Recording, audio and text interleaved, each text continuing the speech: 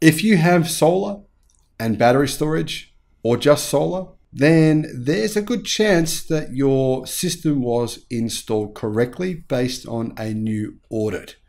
It's absolutely worth having a look into this because you could be losing a lot of the energy based on incorrect installation. Hello, my friends. Welcome to the channel. Great to see you. Thank you for tuning in. Solar energy this year has been blowing my mind. The output is insane. A ramp up of solar and wind and battery storage worldwide is just going crazy. What a time to be alive. It's absolutely incredible. All of this will combine to one day provide virtually free energy. Eventually. At least that's what Tony Seba said, and I agree with him. He said that back in 2014. He has a phrase for it. He calls it marginal cost of energy, as in very, very small cost. Now, even if you don't live in Australia, this could still apply to you.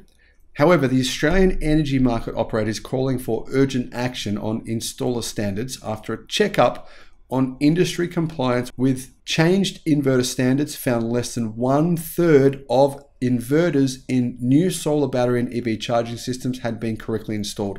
Less than one third. It was close to 25%, meaning there's like a more than a 70% chance that if you have solar and a battery installed, it's been installed incorrectly, the inverter. And that's a pretty significant problem. AEMO commissioned a random order of inverters installed over the past 12 months, and it found that only 28% of systems with visible settings were confirmed to have the correct settings according to new rules that came into play in December of 2021. Basically, a lot of people installing stuff, they're new to the industry. Uh, this is new technology. They don't fully understand it. They just went whatever and just stuck it there and they move on to the next job. Unfortunately, this has happened a lot.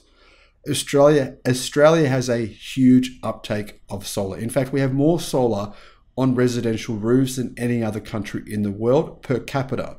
And a lot of people are opting to get a Tesla battery pack installed as well, or another battery pack from other installers. A lot of people get LG Chem batteries or LG Energy Solutions, although there was a recall for those batteries. 14,000 batteries were recalled because of problems with fires, and there was some houses that burnt down as a result. Now, more than half or 55% of the inverters tested displayed settings that were incorrect, while the remaining 17% of inverters checked were partially correct or had some settings that weren't right. For around half the inverters randomly tested, the auditor was unable to confirm what settings were even applied. So if you don't know what settings are applied, there's no way of knowing if it's actually correct, obviously. AEMO's findings on inverter compliance followed changes to rules governing technical settings for new inverters that were published by the Australian Energy Market Commission in December of 2020 and became mandatory for all new installations 12 months later. The idea was to get them to be set so they would actually work properly, so you wouldn't be wasting energy. The rule change was requested by AEMO in a bid to gain greater control and visibility over distributed energy resources, first and foremost rooftop solar, which by 2020 was rapidly contributing more than 50% of instantaneous demand across the grid, and much more in South Australia. As Renew Economy has reported, the Australian and New Zealand standard grid connection of energy systems via inverters Part 2 Inverter Requirements Update differs from the rules rushed through in South Australia in 2020, in that it does not require solar households to nominate an agent to switch off their solar if asked to by the market operator. So, the reason they have that rule in South Australia is because there's too much solar sometimes. Sometimes the solar panels on people's roofs in South Australia actually send too much power into the grid. Now, the opposite used to be the problem.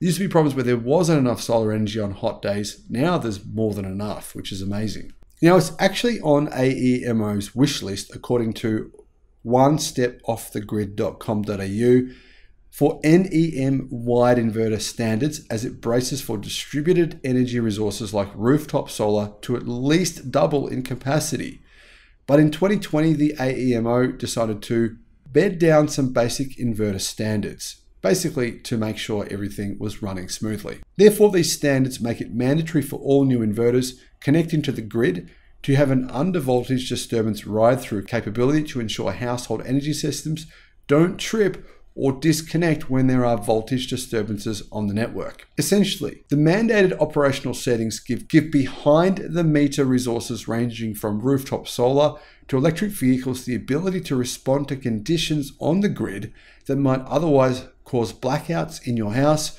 power instability, or PV systems to trip and shut down. So, if your system is tripping and shutting down at all, there's a good reason why. It's a good chance that the inverter settings are incorrect and that's causing a disconnect with the grid. While the AEMO audit confirms that all new inverters tested in the audit process are technically capable of meeting the standards required, a worryingly small percentage of new inverters installed since December of 2021 have been configured according to the mandated settings.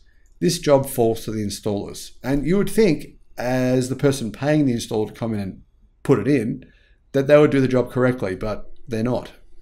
When configured properly to the 2020 standard, most inverters appear to be designed appropriately to deliver the disturbance ride through behaviors necessary to support power system security, said the AEMO.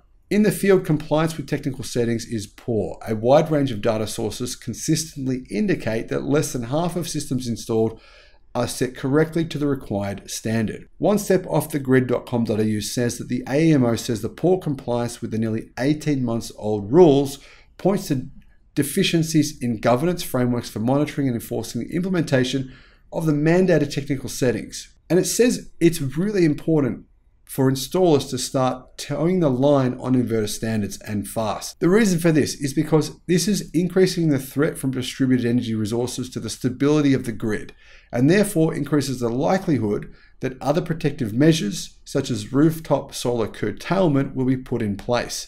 Basically, it's better to comply with the rules rather than actually have rooftop solar curtailment because curtailment means that you have to basically turn off your panels. To remedy this, the AEMO or is calling on industry and regulatory groups to work together to achieve upwards of 90% compliance on inverter standards by the end of this year. Will that happen? I've got no idea. There might be a reason suppliers are doing this. The reason could be something to do with them trying to get you more power sent to the grid or some other feature like that. I'm not really sure, but there may be a reason they're doing this, and maybe you know what that is. If you do, let me know in the comments. Now, at this time, it is clear that whilst the impacts of non compliance are complex and multifaceted, this issue is causing serious power system security challenges, said the report. Now, just because the auditor couldn't find the settings doesn't mean it was installed correctly. It doesn't mean the inverter settings are incorrect. However, obviously a big percentage of the settings on those inverters were incorrect. Ultimately, what we need is a virtual power plant like what Tesla has. This would actually solve the problem. Tesla's power, Powerwalls and being able to use them as a virtual power plant enables Tesla's software to actually mitigate problems in the grid. It's massive, it works really, really well. The government of South Australia and Adelaide have said it works really well. Other governments have said it works well. In California, it works well. It's being used now in some other states around the world, and I believe this would solve some of these issues. The other option here, though, is that what governments could do is ensure that the inverter settings are preset to the Australian standards before being installed. Then there wouldn't be these issues in the first place. Now, either way, it may be worth getting your inverter checked to make sure it's running correctly. Let me know your thoughts in the comments and thank you for watching. Bye bye.